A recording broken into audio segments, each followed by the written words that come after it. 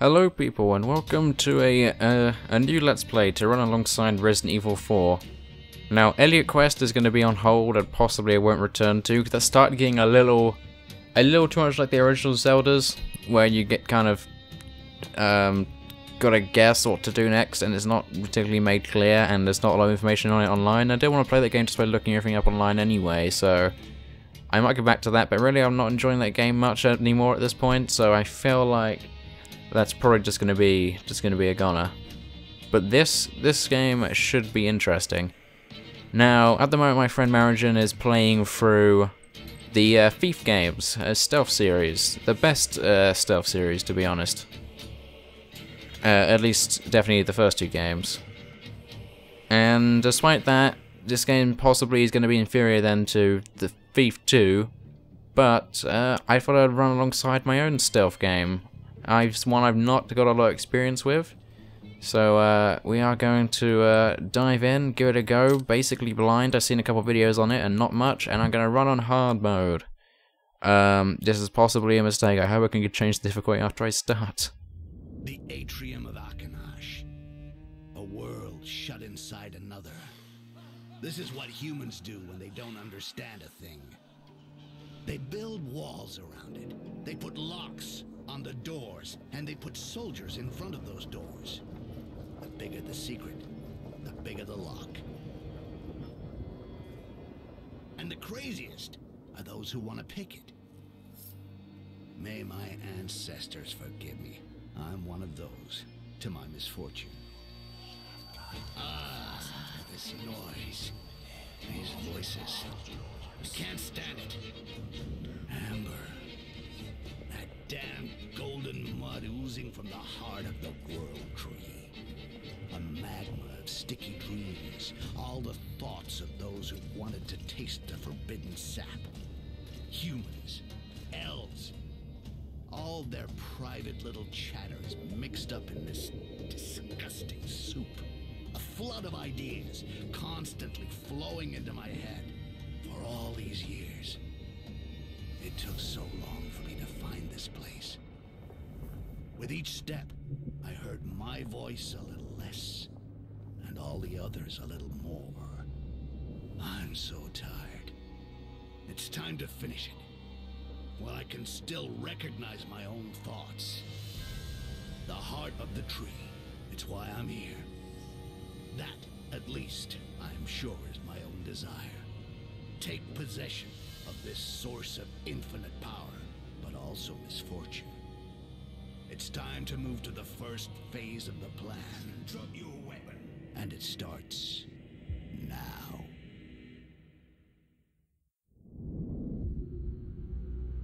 All right, beast. Wake up. Answer when Lord Barnaman speaks to you. Who are you? Speak. My name is Styx. There's a surprise. The elves give names to their monsters. Where do you come from? I've never seen anything that looks like you. I am one of a kind. It's the elves who created it, Father. That's obvious. They pulled this runt out of their sticky larvae, and they sent it here to spy on us. Speak. Is it the elves who sent you? Why are you here? Elves. If you only knew. They don't need spies to find out what's going on in this accursed tower. So, you're working for them. What did you come here for? I came for the heart of the tree, of course. I knew it. Those degenerates want to retake the tree and keep their precious amber for themselves.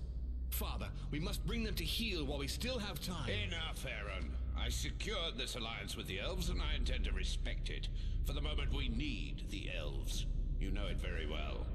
Rubbish. Oh, yes, you do need the elves. How many of you poor little humans died the last time you tried to extract amber by yourselves, huh? How many? Hundreds? Oh, yes, you do need the elves. But they don't need you. How long do you think you can lock them up in their own world?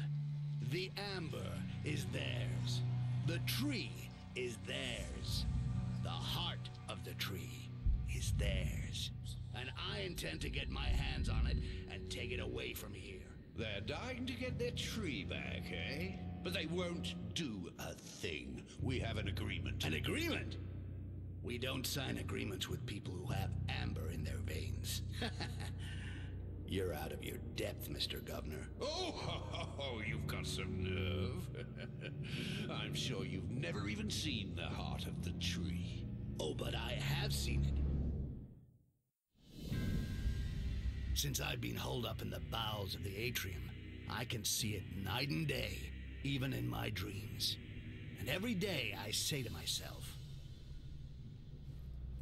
Hey, Rakash, the heart of the tree is over there, almost within reach. And by your life, you're gonna find some way to steal it. Because you're not leaving the tower without it.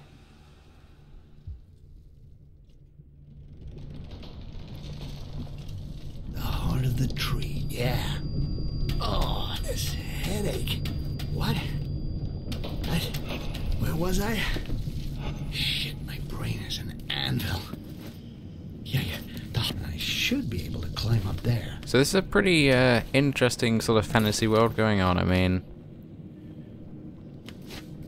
this whole sort of amber, amber strangeness. Did you see the Sort of elves create the goblins found? and stuff. I wonder where I it mean, comes from. It's not here. completely, you know, generic. It's actually got some interesting stuff to it, and I, I hope we're going to find out more as we go through the game. This is a sequel, but well, I it's I think it's actually technically a prequel. But I could be wrong because there's events it's talking about might have been from the first game to a uh, action RPG called. Orcs and Men. It can't be far away. Whoops. I actually I wish I didn't keep cutting his dialogue when I walked ahead too fast. But um, he's just really giving tutorial nonsense at the Me up a moment. But um, yeah, that's an action RPG called Orcs and Men, which I I hear is interesting. Not necessarily, you know, it's it's not an absolutely amazing RPG, but if you like RPGs, it's it's quirky and interesting. What I hear. Stay out of sight until I find my dagger. And um, yeah, I've not actually played that game. I own it. Unfortunately, I own it on console, which means uh, I'm too stingy to buy it again on PC, and at the same time too lazy to get out the console and play it on that. So it's a game I never really got around to playing. But this is uh, keep to the basically a different genre of game, doesn't make too almost. much noise. Avoid running. Because this is, yeah, this is an action RPG. This is a this is a purely a stealth game, from what I could tell, and from the way it seemed to advertise itself. I'm trying to be quiet during. Big dialogue Seems so close, but it's a mirage. It's so big that it seems to be close, but I still got a long way to go. Anyway, I'm pretty sure So, is. Uh, from what I heard, the only access to the heart is a bridge which that two-faced Governor Barron has had closed off with a tamper-proof lock, and he keeps the only key in his apartments. And as if that wasn't bad enough, the whole area is crawling with elves. I'm gonna have to go down into the prisons and free my friend. He knows how to deal with an elf. So, if I'm gonna survive in this tower, I'm gonna need somewhere safe to get organized, as well as a map of the atrium. Well, I'll get nothing done standing around here. I'll get my dagger, and it's off to work. I'm sorry if it looks so atrocious at the moment, but I've had to lower the settings down to low and runs at 720p in order to get like uh, 60 frames per second all the time um, during the record. I won't be seen. When I'm not recording, I can run this at like medium 10, uh, 1080p fine. But yeah, involving Bandicam in my processors, even using the NVIDIA codec, uh, yeah.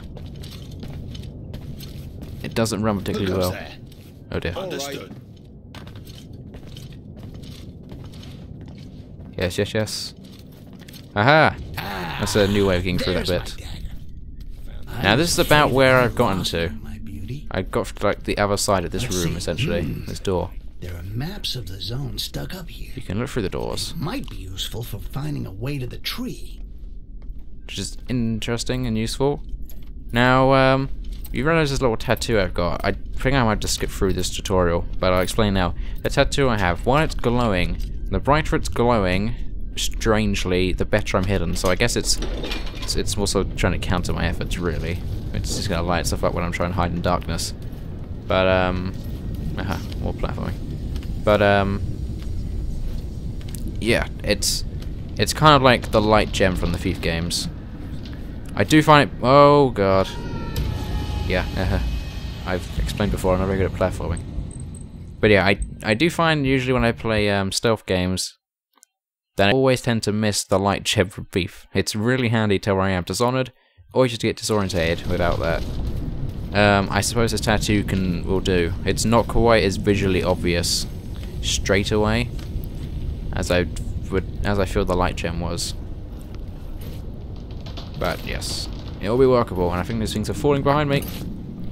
Assassin's rule number one always strike from behind, especially when the fucker is twice your size. And remember to land on the carpet to make less noise. Yep. Uh, this uses pretty standard stealth game mechanics. Uh, carpets, uh, your thief's best friends. You're not going to make any noise really while walking on those. Uh, okay, hold. May as well. I don't think there's anyone else around, but... And yeah, we're not quite the peaceful thief that Garrett is either. Stiff lying around. That would be messy. Where can I hide it? We are the uh, we are the murdering kind. We are a goblin after all. But yeah, again, strangely, goblins seem to be they said one of a kind. I I did see sort of goblinoid things, so maybe there are other types of goblins. It's just like ah, uh, super awesome stealth intelligent goblins is unique to him. I don't know. But yeah, I'm pretty sure yeah, I'm pretty sure you can play this game without playing orcs and men and still get most of the stuff out of it. Though maybe that would clear up some stuff about whether I'm working for um, working for the elves or not. And okay, we have to duel this guy. This is going to be something I'm going to want to avoid pretty much all the time, considering that I'm now playing on hard mode. Choice. I have to fight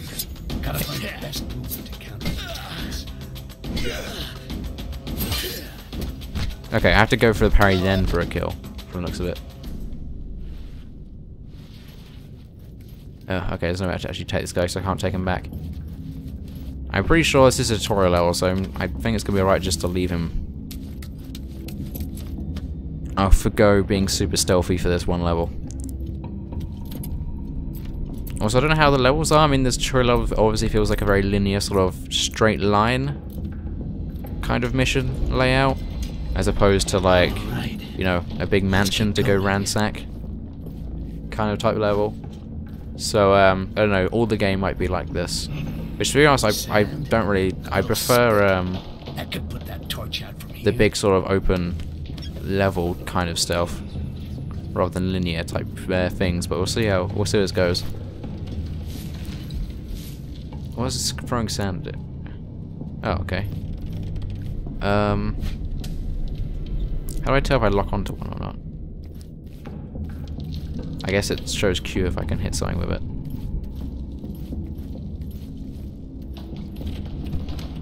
Aha, sweet. Metal Gear Solid. Slash every single horror game made in recent years.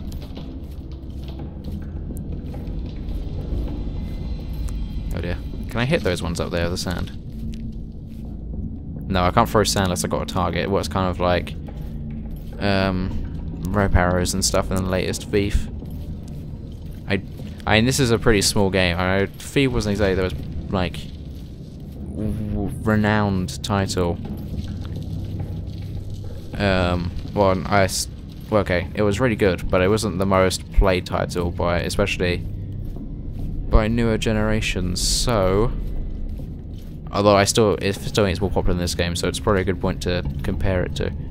Oh, okay, I thought I could read that book on the tail, which is why I crawled over there. It's probably my fault for playing Resident Evil recently, and that being a thing I could do.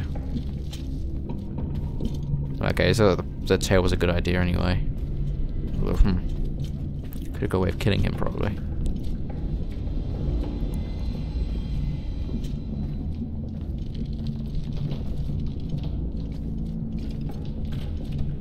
Oh. Hmm. Passageways I did not see.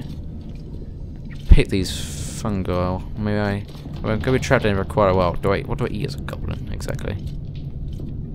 A fungus would seem like a plentiful resource on the ground. Oh god, I knocked over a fucking chair. yeah, that's a thing. I've got to be wary of doing that. I'm transferring my real life clumsy game. Right, just leave him there. Don't even bother extinguishing that torch, I don't need to.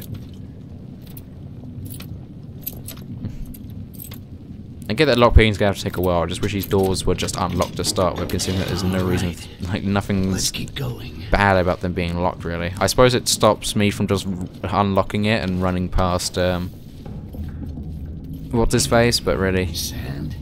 A actually, it locked me in there till I killed him anyway, so torch out from here. that's not even an excuse.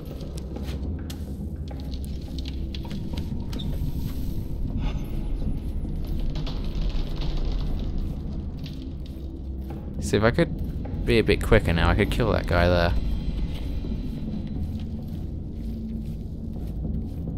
But I mean he's gonna turn around just before I get there, isn't he? Oh no, I got him.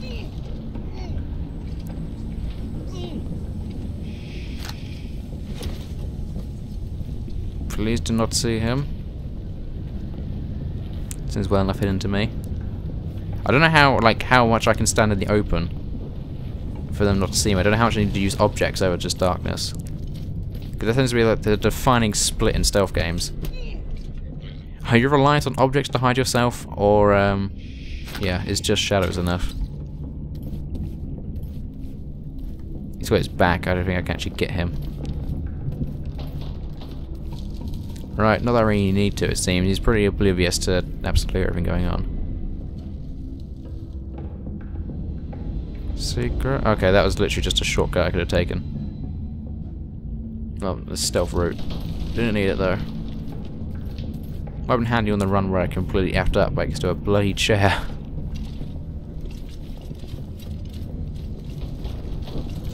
Now wondering. Nope. Let's go back and throw them over the edge. Ah, I suppose that's funny enough. I'll just leave them like that.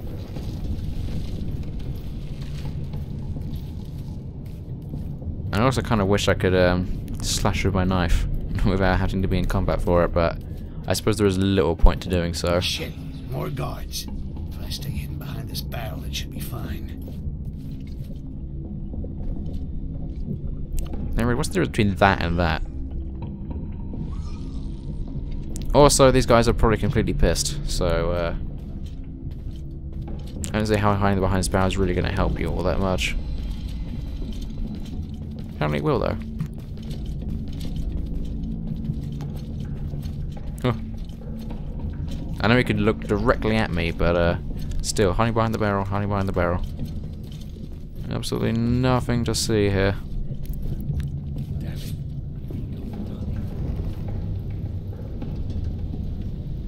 Oh, shit, yeah, they found the dead bodies.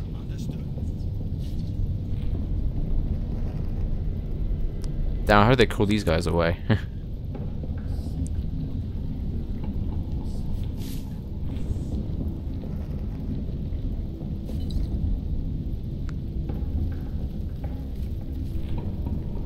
I think I think don't think that thing's getting any bigger, so I think he might just be staying over there.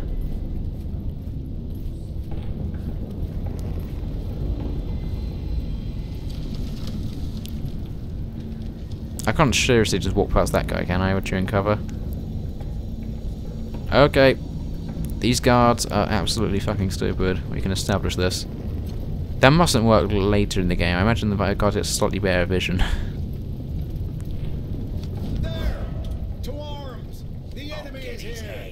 No, I'm not. Yeah, you just try and get me. Sorry if I find you, little skin. Out loud. Shit. Oh wow, it's actually working. I find you, you Gotta be little around here green Kind of. Until that happens. Yeah, you stinking rats. Wait and see, my friend. I'll find you. Yeah, I imagine you will.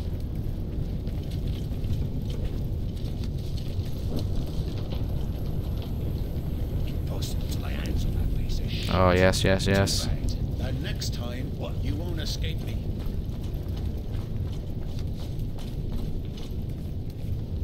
Uh-huh. Haha. Be sorry if I find you, you little green skin. Okay, it's definitely common, common green type features. Unless you just thought of that name on the spot. Skill points. Aha. Cloning. Your clones can grab an, an enemy for a few moments. So you can take advantage to kill them or simply continue on your way unhindered. Ooh. Okay, so I can't do that just yet. Oh, but I can't even learn any skills yet. I have to go to the hideout first. Right. You gain them by completing missions. Okay. Um, how do I tell if I have a side objective or not? If there's something I can do. Mission. Then go to the st- okay. There's. I assumed it would show up there, so I guess I haven't got any uh, any mission yet, really.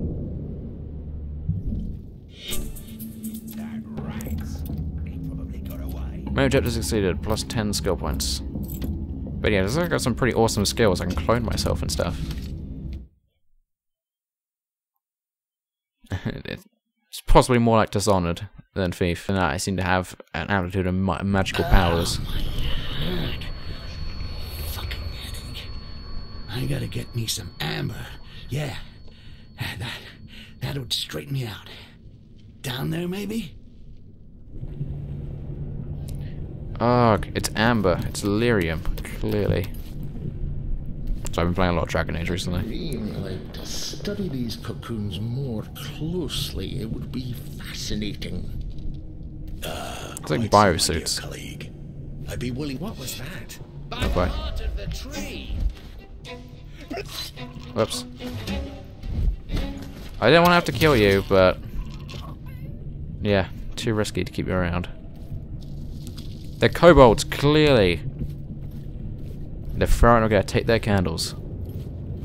Anyway, um, yeah, we're in the distillery now. I kind of blew it already, but, um, things seem to go alright.